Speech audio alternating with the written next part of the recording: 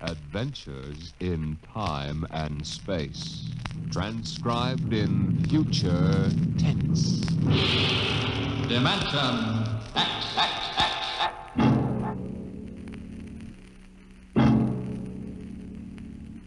When the first space rocket lands on Mars, what will we find? Will we be welcomed with open arms, or will the Martians treat us as invaders? Only one thing is certain. Someday a giant metal ship will take off from Earth to travel through the black velocities, the silent gulfs of space, to descend at last into the darkness of the upper Martian atmospheres. And on that day, man will finally know the answers. The day we first land on Mars.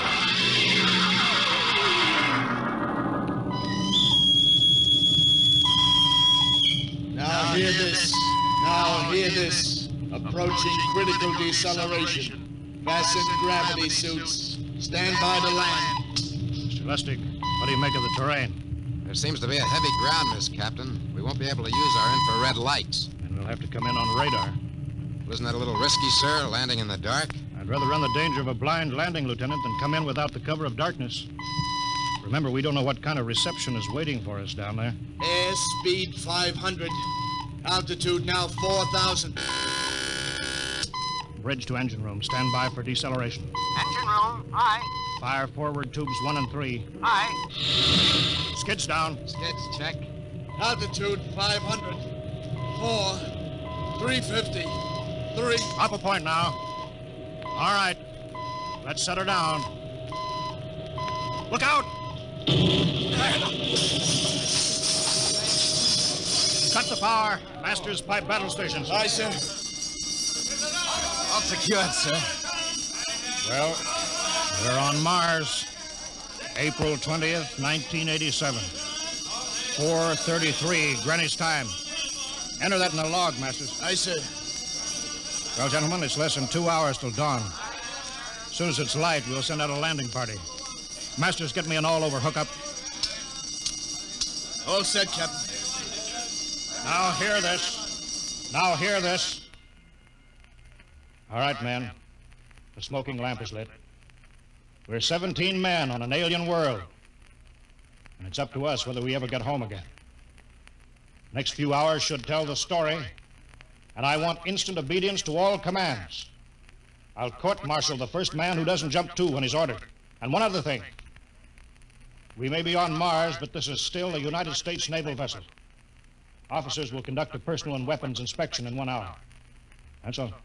Inspection, Captain. Now? Mr. Lustig, we've got an hour and a half to sweat out before we find out what's outside that airlock. I'd rather have a man worried about his stripes than about what's waiting outside on Mars.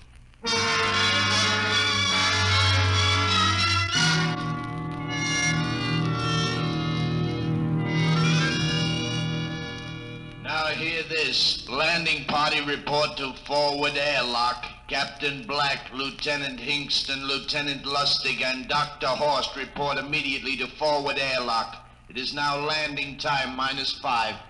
Sounds like they're paging us, Hinkston. You ready, Dr. Horst? Yes, ready as I will ever be. Oh, come on. Let's report to the airlock.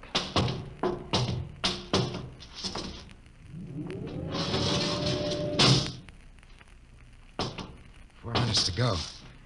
Hey, where's the captain? Who knows? What difference does it make? Just want to get it over with, that's all. Has anybody uh, got a cigarette? I think you're smoking too much, Lieutenant Lustig. Are you nervous? Lay off, will you, Horst? Wondering what's hidden outside underneath that ground mist? Very unusual planet, Mars. Why? It has an atmosphere. Wonderful thing, an atmosphere. Where you find one, you find life. You mean Martians? What do you think they'll look like? Who knows? Intelligent life can take many forms. You mean they may have green skins and eyes on stalks or something? A comic book conception is possible. Or they may have developed to a point that is far beyond us.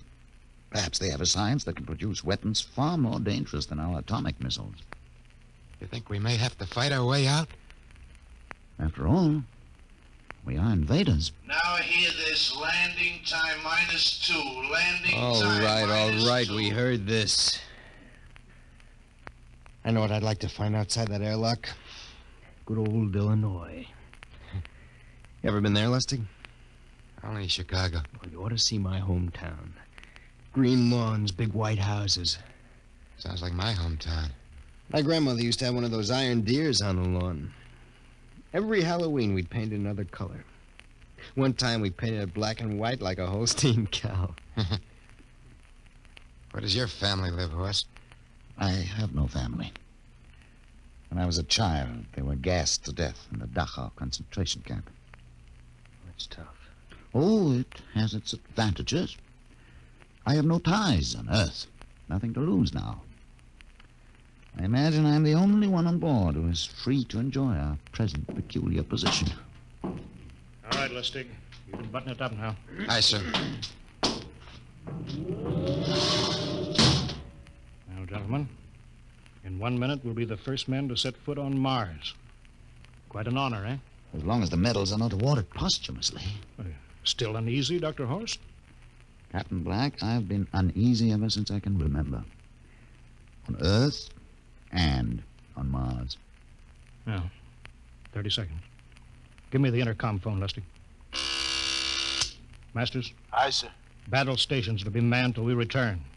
If we're not back in two hours, I want no rescue party sent out. Blast off and save the ship, you understand? Aye, sir. All right, gentlemen. Five seconds. Four, three, two, one. Lustig, open the outer airlock.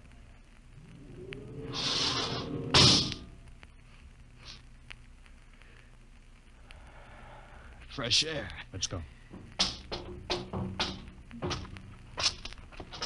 Hold it, man. It's too dark to move fast. Quiet, isn't it? Not even a wind. You can't see anything through this ground mist. Quiet. We don't know what's out here. Come on.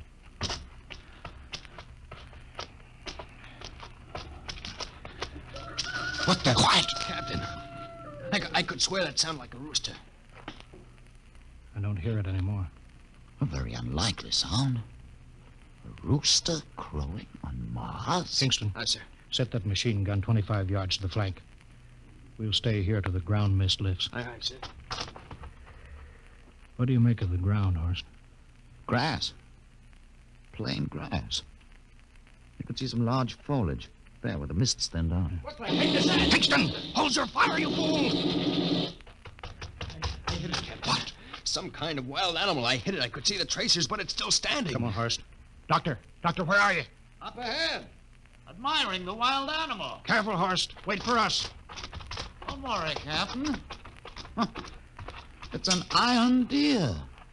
A lawn ornament. That's impossible. It's hollow.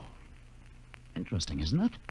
A whitewashed Victorian iron deer sitting on a lawn in the middle of Mars. I don't understand. Look around. The mist's lifting. Uh, Captain, look there. A house, a regular old-fashioned house. On Mars. Good Lord. I haven't seen carved scrolls and gingerbread like that in years. Look at that port swing. The geraniums. There. I told you it was a rooster, Captain. Give me the glasses, Lustig. I want to take a look through that front window. What? There's an upright piano. Some sheet music on it. Lustig, it's beautiful Ohio. Beautiful Ohio.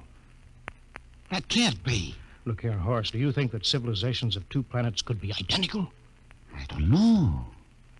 That specific variety of geraniums is only 50 years old on Earth. Is it logical they should develop in Mars? How about that port swing, and that, that piano, and beautiful Ohio?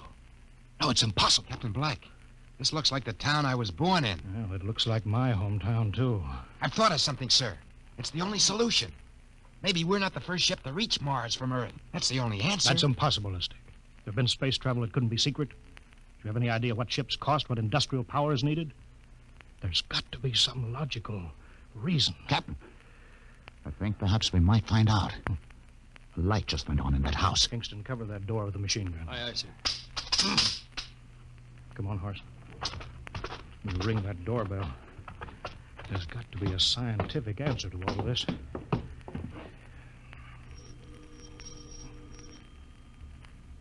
There's something moving in there. Stand back, Horst. Give me a clear shot. Maybe a Martian. Can I help you? We.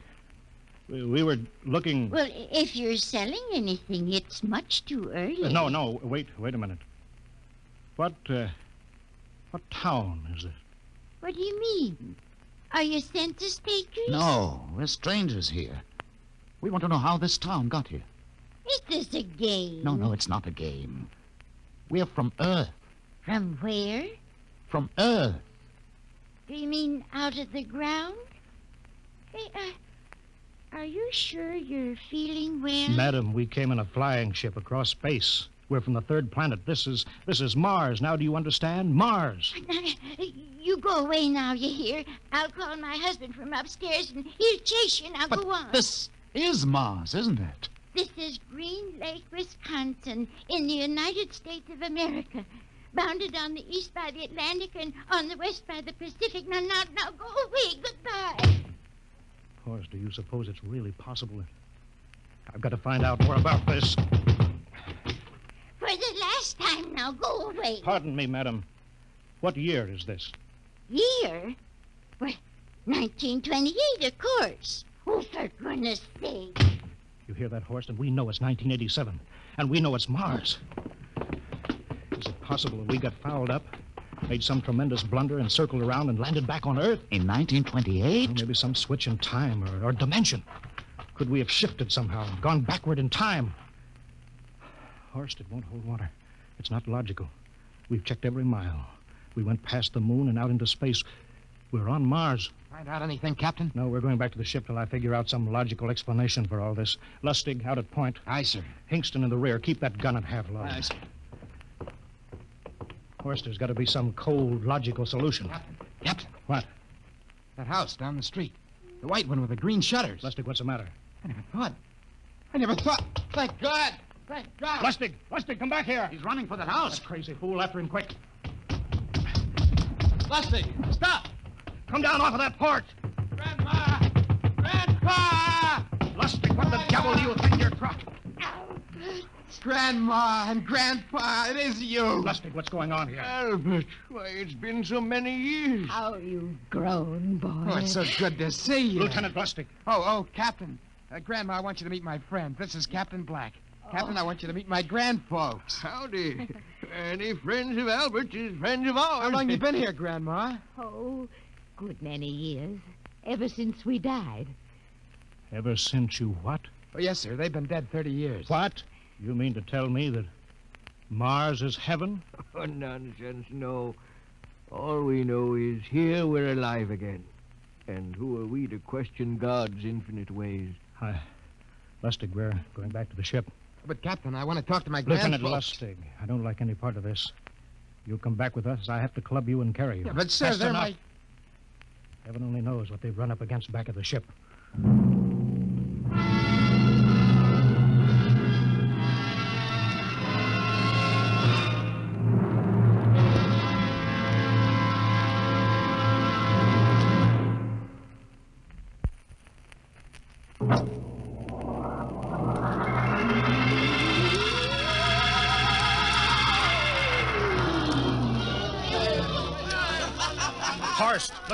Crowd around the ship. Looks like we're being welcomed with a celebration, Captain. Celebration, they've abandoned ship. Every port is open, no guards set. You, you masters. Hiya, Captain. Meet my old dad, Dad. That's Captain Black, and he's not a bad guy for an officer. Of all the. Hinkston, oh, oh, what, sir? bring that man back. Use force if you have to. Uh, I. excuse me, sir. There's my Uncle George. Hinkston! I'll be right back, Captain. Uncle George! Uncle George! What the devil Don't is you going understand, sir? They've all found friends and relatives. They're all here. He's right, Captain. I've counted. The whole crew's out on the crowd. But I gave orders, definite orders. You orders. don't understand, Captain. I All he- understand mutiny. I don't care how many relatives show up. I'll have discipline on. Johnny! Johnny, you old son of a gun. Edward. Edward. It's you. It, it can't be. Of course it is. Johnny, you old son of a gun. Ed. Edward. Dr. Horst. This is my, my brother, Edward. How do you do? Hello. It's it's wonderful to see you, Edward. Look, I, I, I, I've got to get back to my ship. Hey, hey, I almost forgot. Mom's waiting at home. Mom, And Dad, too. Mom, Dad are alive? Excuse me, Horst. Then you're real, then. Don't I feel real? How's that, huh? Ed, Ed, Hey, we've, we've got lunch for you, Johnny. Mom's making corn fritters. Corn. Dr. Horst, haven't you found anybody? No, Captain. I have nobody. Then you come on home with me, right, Ed? Sure, you bet. Horst, you wouldn't believe it, but it's been 35 years since I had Mom's corn fritters. By George. 35 years.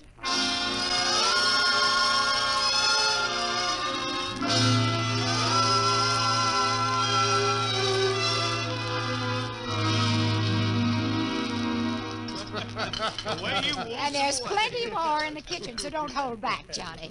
You too, Dr. Horst. Well, Johnny, you're still in the Navy, huh? That's right, Dad. I'm in command of the ship. We're an old Navy family, Dr. Horst. All three of our boys in the service. Ed was the best pilot in the Pacific. What didn't happen, Ed? Oh, what's the difference? I'm here now. Oh, you know, it's almost perfect. All we're missing is your brother Will. Then the whole family could be together. Well, it won't be long, Mom. Will's in charge of the XR-54. That's the next rocket coming out to Mars. Well, little Will. when does he leave, Johnny? Takeoff scheduled for September, but it depends on what we report. There's no question about that now, eh? Christmas together again. That'll be something, huh? Yes, sirree. Well, this calls for celebration. How about a little of the old dandelion wine, eh, Johnny? Now, Father, don't you go giving Johnny too much wine. Oh, he's a big boy now, Mother. well, sir, isn't everything just fine? Just fine.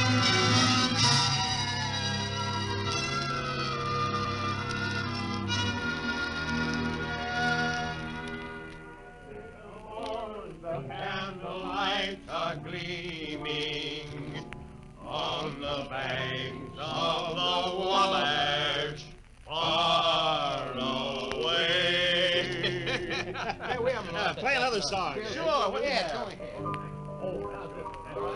Well, Dr. Horst, what do you think of my little family, hmm? Very nice. You know, I can't understand why you didn't find any folks here, Dr. Horst. It's just a shame. Everybody else is so happy. I never remembered my family, Mrs. Black. All I know is they were gassed at Dachau during the Second World War. When I was liberated, I was in a delirium three months. I cannot remember anything before then. The psychiatric phenomena. That's terrible. Isn't there anything anybody can do? I don't want to remember. Oh, I haven't had a pleasant life. I prefer to be free of emotional entanglements. They interfere with a scientific approach. I'm sorry, Dr. Horst. Oh, I'll get it. Hey, that's our ring, long and three shorts. I remember that. Well, maybe we'd better call it a night. You must be getting tired, Johnny. I'd better be going back to the ship. Oh, nonsense. You stay the night. Uh, we insist. Oh, I just couldn't rest thinking of you all alone on that ship. Oh, I'll be all right. Well, good night. Oh, wait a minute, Dr. Horst. That phone message was for you. Me? Yes, that's right. A message from Anna. Anna? I don't remember any Anna. She asked if you were better. Perhaps she's someone you knew at Dachau. Anna? She said she's coming over here first thing in the morning. So you'll have to stay over. Yes, Well, that but settles it then. You stay here, Horst. You can bunk with me in my old room. Oh, but Johnny, we thought you'd like to be with Edward. So you could talk the way you used to. Well, we can't put Dr. Horst on the daybed. I think we better share the room tonight. There'll be plenty of time for talking, Ed. I guess so. Well, I suppose I better drop back to the ship. You know, Ed, security check. Well, why do you have to do that here? Well, I don't know. There's no good reason, I guess. well, I suppose we skip it tonight. Oh, Why sure. Well, good night, everybody. Oh, it's good to have you home, Johnny. It's good to be home, Mom.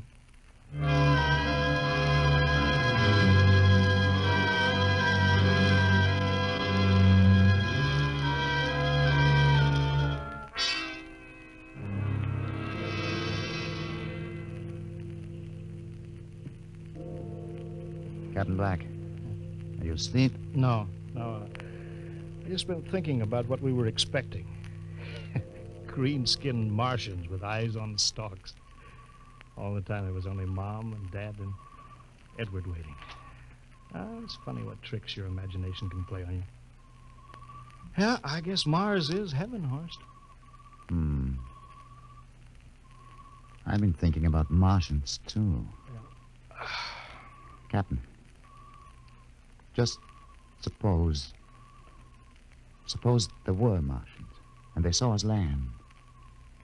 Suppose they thought of us as invaders. What would be the best weapon they could use against our atom bombs? I don't see what you're getting at. They would want to disarm us first, Hmm.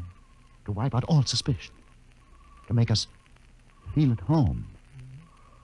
But suppose this house isn't real. Suppose the people are just images, stolen from our own memories by Martians, created for us by telepathy, hypnotism. That's the craziest theory I ever heard. Maybe that's why there was no one for me. Mm. Because in all my life, there is no happy memory, no real loved person. How about that phone call from Anna? Yes. Anna. I didn't remember who she was, but I do now. I just remembered.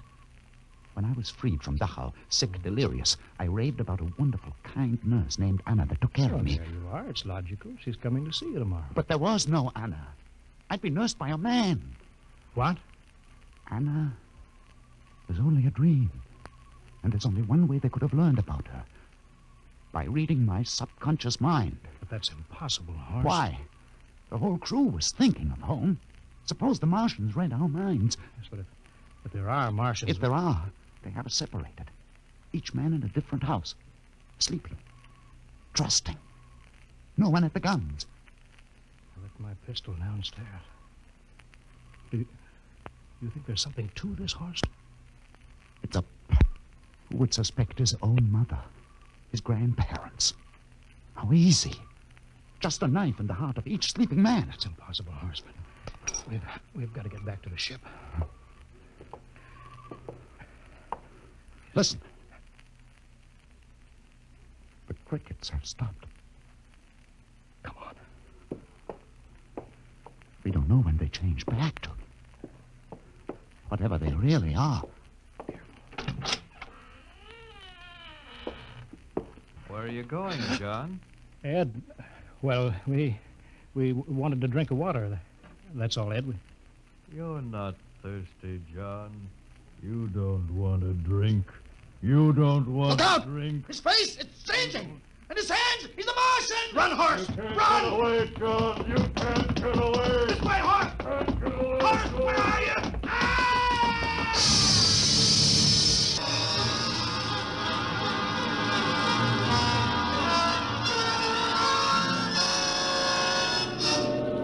Hello. Hello. Can you hear me, Earth? This is Captain John Black, the XR-53, calling from Mars. I've locked myself in the ship, but they've crippled it. I, I can't take off or fire the guns, and they're coming for me now. The Martians. I'm all alone here. All the rest are dead. Hinkston, Lustig, Dr. Horst. Poor Horst, he didn't even reach the door. Listen, listen, they're trying to break through the hull now. Edward and Mom and Dad and all the folks. But they're changing now. Melting and changing back into. They're Martians. Can you understand me? Martians, not men. They made us think that Mars was heaven and we fell into the trap. Can you hear me, Earth? You've got to stop the next rocket. Tell, tell my brother Will. Tell my brother Will not to come. They'll trap him too. They'll kill them all. Hello! Hello! Can you hear me, Earth? This is John Black on Mars. Hello, Earth. This is John Black on Mars.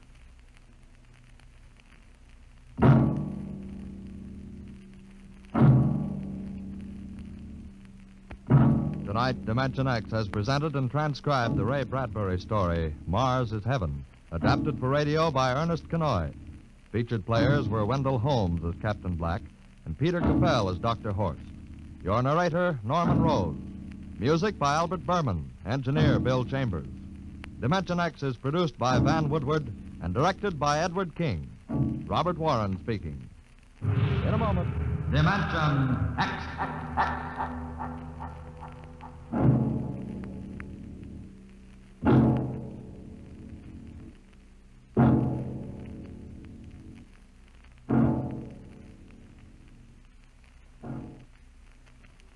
This is NBC, the national broadcasting company.